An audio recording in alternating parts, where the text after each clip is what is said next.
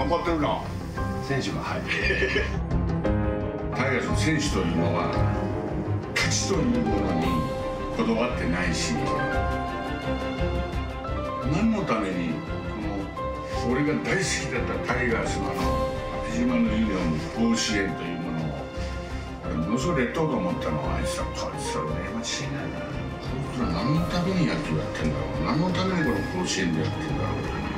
あの応援の姿を見たらこの人たちを喜ばしてやろう嬉し投げさせてやろうというのを俺ものすごい意識あっただからもっと勝ちにこだわれこれはもう1年目からもう即感じられたことですか？そうですね。あの僕が FA 交渉星野さんとしてる時に、まあ、星野さんが言われたことが、えー試合に勝って、タイガースのファンがねあの高速4 43の下ですかね、あのはい。はい高架下のえとこでずっとこう応援歌を歌ってね喜んでる姿を見るのがねすごい楽しみなんだっていうね、えーいう話を聞いててあやっぱり監督もやっぱりファンが喜んでる姿を見たくて喜ばしてあげたくて、えーそのなんていうんですか野球選手監督としての生きがいっていうのをねそこに見出したんで、まあ、僕もそこすごい共感するところが、えーあったんでねまあ甲子園球場5万人入りますから。まあそれ現役でやってる時もその意思っていうかねそのファンこのファンを5万人をもう喜ばしてあげたい僕が打ってまたこう気持ちよくね六甲おろし歌わしてあげたいなっていうそういうのはやっぱ常にやっぱ星野さんの影響っていうのはやっぱ大きかったですね。今の対談が6月なんですね去年の、はい。あの時正直加納さん星野選手さんの言葉であったり、はい。顔れであったり何か変化感じてらっしゃったりしたんですか？いえあのーそれより以前にちょっと一時痩せられたことがあったんですね、でその時よりはちょっとこう戻っふっくら戻ったかなっていうのがあったんでまさかそこまで体調崩してるとはね全く分からなかったですね。まあタイガースへの愛ファンへの愛それはあの片岡さんその厳しさにも直結してって、はい。皆さんが口々におっしゃいます星野さんにこう怒られたんだっていうことを片岡さんもやっぱり終わりなわけですか？その野球のね結果でどうのこうのっていうのはそんなに個人的にはなかったですけどちょうど2003年あの独走してまして夏のロードの時にチームもあまりえー成績が良くなくて選手も結構怪我人が出たんですけど、ちょうどあの自分も東京ドームのあのジャイアンツ戦の走塁中に少しのこう軽い肉離れを起こしてですねで次の日の、まあ、ゲームにも出れないから回しようかなっていう時にちょうどこの1階から僕上がってくる時にですね当時星野監督いつもあの3階のポトマックでよく食事されてたんで、はい。ちょっと11時半ぐらいだったんですかねでこう1階から僕8階だったんで8階のエレベーターを押した時に何か嫌な予感がしたんですね でもしかしてこれ監督が乗ってこられたらどうしようというふうな緊張感の中でエレベーター上がっていくとこう3階でエレベーターが止まってパッと開けると上があのドアが開くと星野さんがおられてすっごい怖い顔で入ってこられて「毛ばっかりしやがって!」とか言って「真っ白じゃ!」ってあのエレベーターの中で2人で言われた時は、今までの数本の指に入るぐらい怖かったですね。だからそのやっぱりチームにこう与える緊張感っていうんですか？そういうふうなことをすごくこう考えられて、えーされたなってことを今感じますね。そうプレーの一生懸命やった結果はあまり攻めなかったんだってねあまりそういうことは僕、ね、タイガースに来てあまり結果は出せませんでしたけど、まあ、そういうことに関してはあまりあの言われませんでしたけど、やっぱりこう体調管理とか、えー怪我とか、まあ、遠征中でも連敗が続くと、朝ごはんを食べろとかそういうふうなやっぱ体調管理については非常に厳しかったですね。平田さんはその後ろの写真にもあるようにもう本当に四六時中2002年2003年の星野さんの横にいらっしゃったわけですけど監督星野人間星野この狭間にずっといらっしゃってどんなことをお感じになってたんですか？まあやっぱり人間味があるというかね喜怒哀楽はっきりされてますし、まあやはりねこう裏方さんの奥さんとかそういう方にも気配りということに関してはすごいなというね、うん、そういう感じ特に裏方さんに、えー気を使われてましたね、まあ、それはもう今監督ずっと引き継いでっていうかえーそういうことを見ておられてやっぱり引き継いでいってるというところありますよね。お酒を全然お飲みになら飲まないれないですね。夜眠れないというねなかなか寝つけないっていうのが終わりでしたんで、ちょっとワイン一杯ぐらい飲んで寝れるもんかなっていう本当にねあの睡眠っていうかもう朝も早くあの起きられてましたんで、えーそういうとこが一番あの苦しかったみたいですけどね。はい。まあ、今金本さんが星野さんのやり方を踏襲してるっておっしゃってましたけれども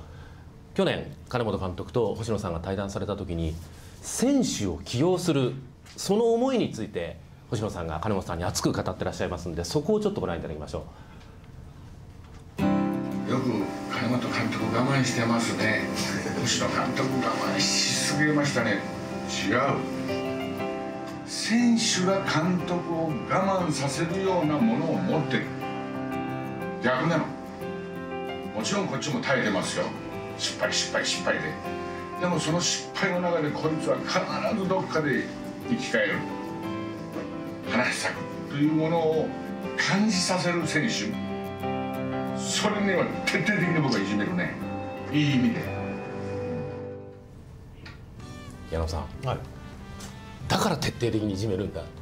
こいつがそういうものを持ってるんだ我慢させてくれるんだ、はい中日の時そして阪神に移ってきて、はい。お感じになってたとこですか？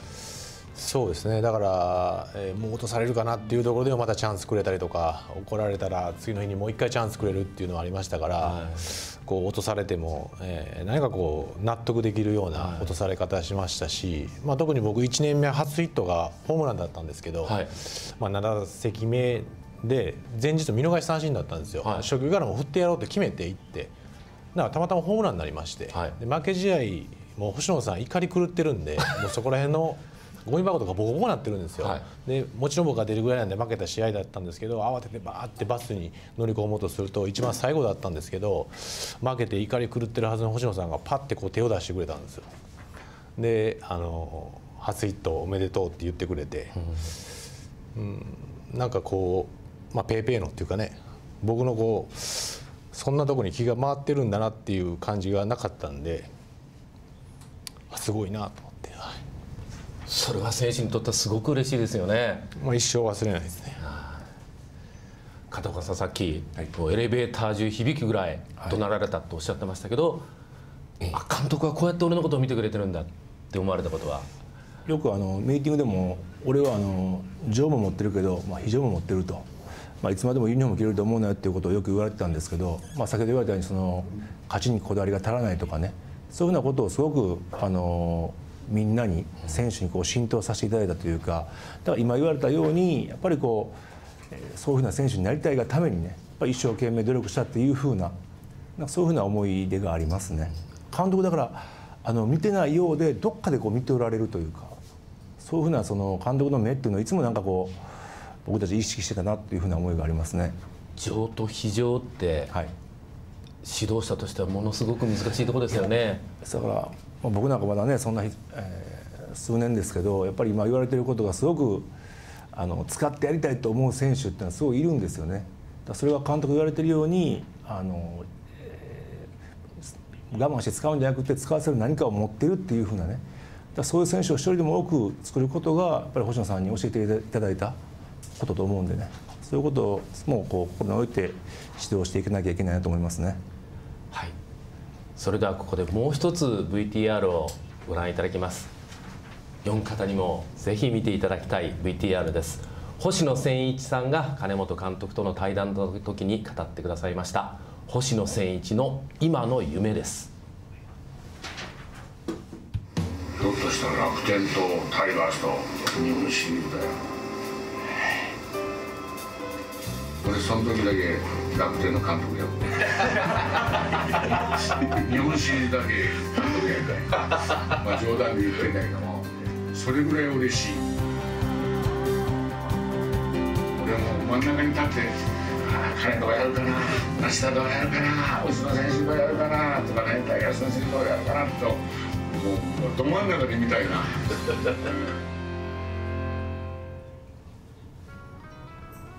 この夢はぜひ今年実現して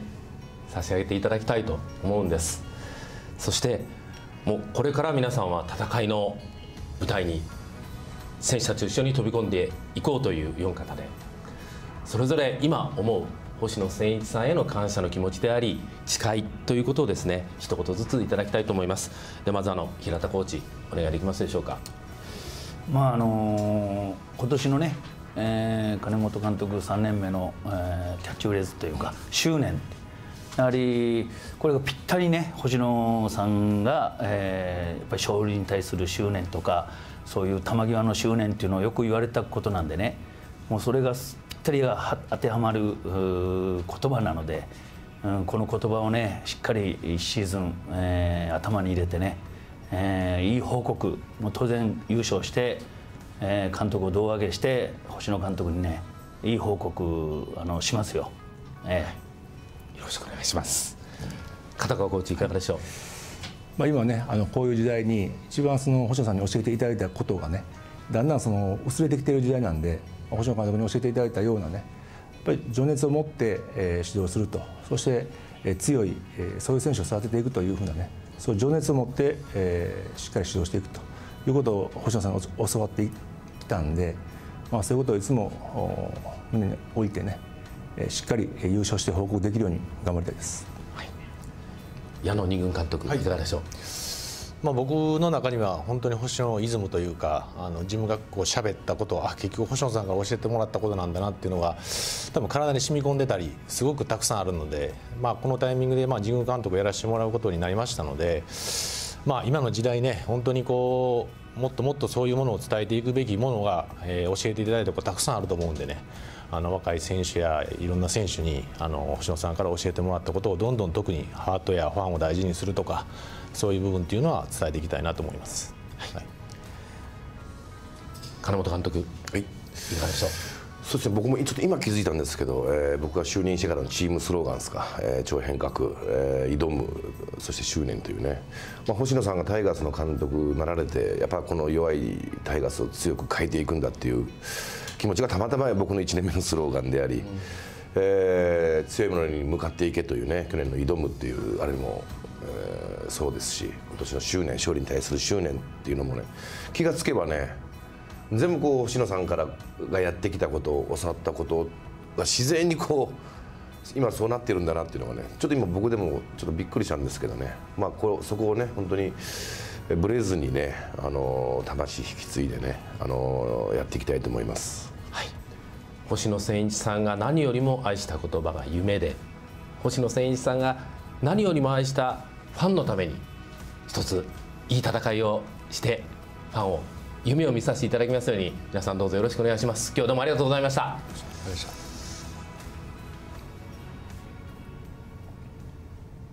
トラバン追悼特別番組ありがとう星野千一さん。再びこちらのスタジオより生放送でお届けしていきます。改めてよろしくお願いいたします。よろしくお願いします。えー赤星さん、はい。最近生前の星野さんにお会いしたっていうのはいつで何か言葉のやり取りなんかはありましたか？あの僕は12月1日のあの殿堂入りパーティーの時が最後だったんですけど、はい。あの日に僕実はちょっと壇上に上がる直前にちょっと前なんですけど20秒ぐらいご挨拶するをしたくて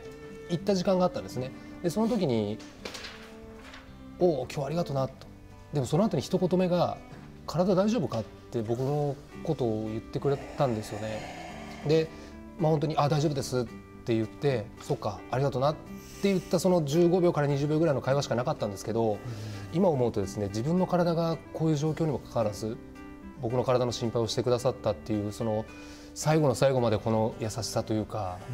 今思えばすごく感じる瞬間でしたね。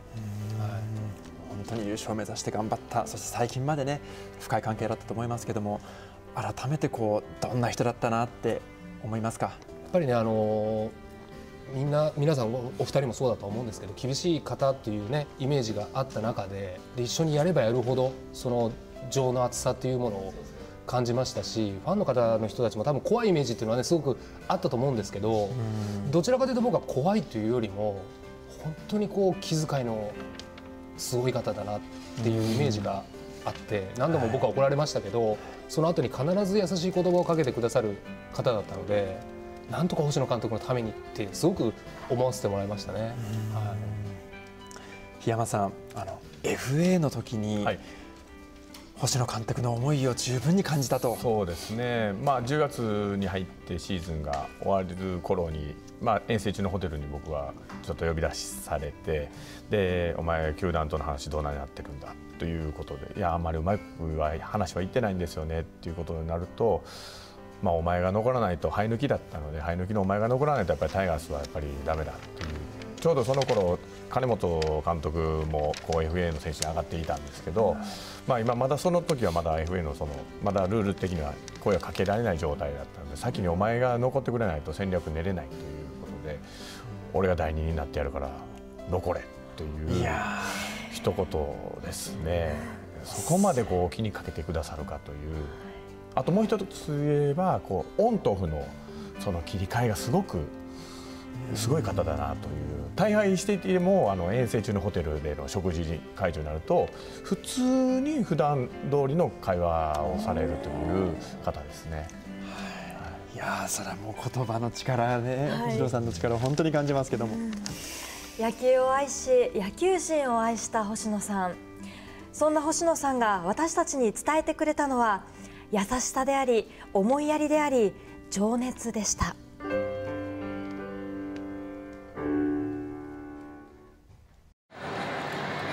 2003年。巨人は3位に終わり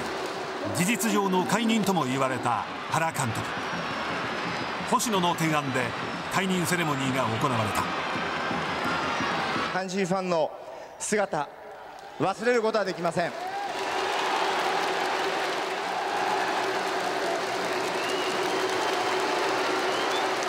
野球人を愛する星野は若き指揮官に温かい言葉を送る。くじけるな。もう一度戻ってこい。勉強して戻ってこい。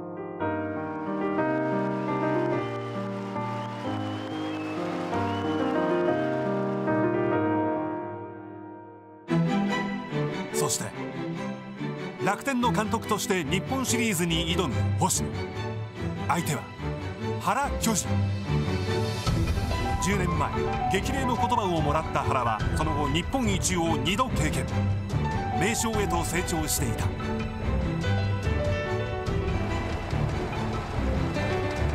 った方が日本一。運命の第7戦。楽天リードの9回。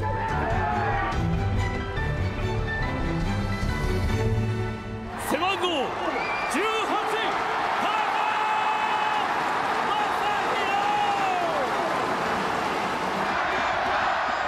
前日160球を投げた田中将大。ファンが東北が待ち望んでいた男をマウンドへ送った。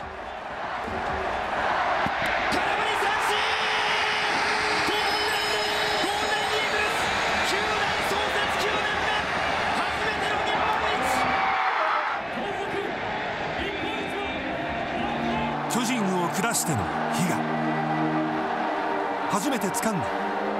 日本一だった。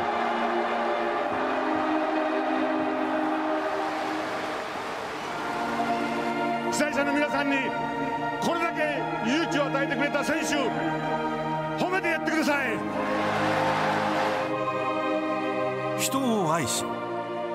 ァンを愛し野球への情熱が尽きることはなかった。殿堂入りを決めた去年。もう一度野球復活のために尽力を尽くしていきたいと。今後の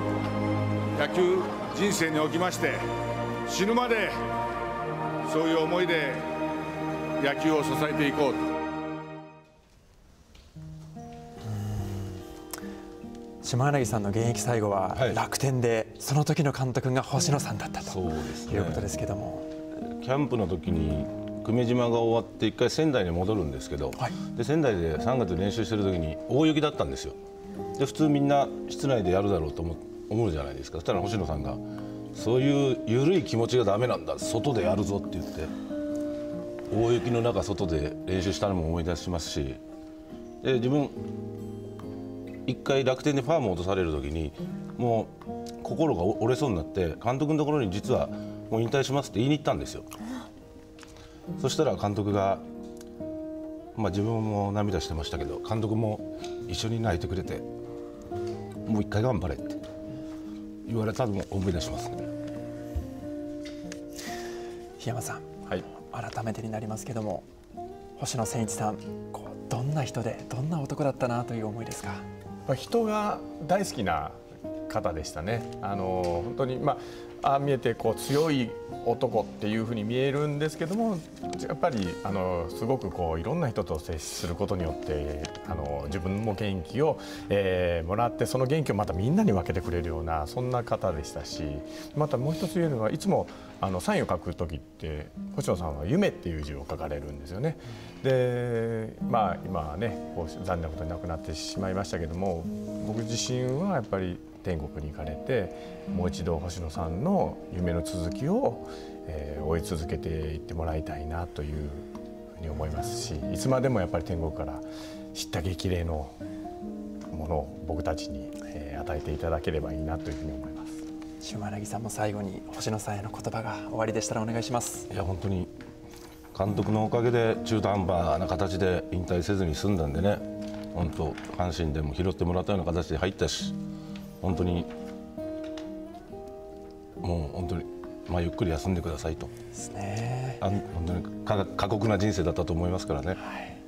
星野さんの笑顔言葉感動は決して色あせません。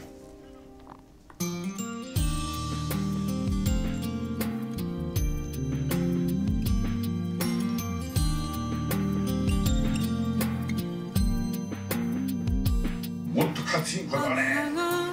野球を愛せ。空を見ていた。通り過ぎてゆく。人の中で。悲しみは。絶えないから。小さな幸せ一番怖い監督ですけど一番優しい。時を超えて。君を愛せるか本当に君を守れるか？怒る時も真剣。褒める時も真剣。自分のためだけじゃなくて誰かのために今何ができるか？忘れないでどんな時も。選手が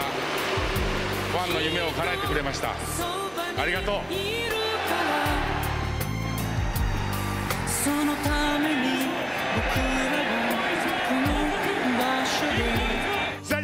災者の皆さんにこれだけ勇気を与えてくれた選手褒めてやってくださいフ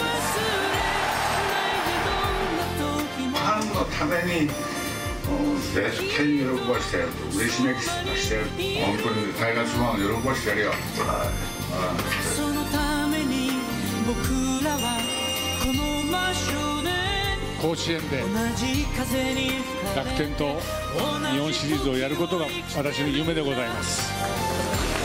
生きてる間にこのシリーズをやってほしいなと。きっとそばにいるから。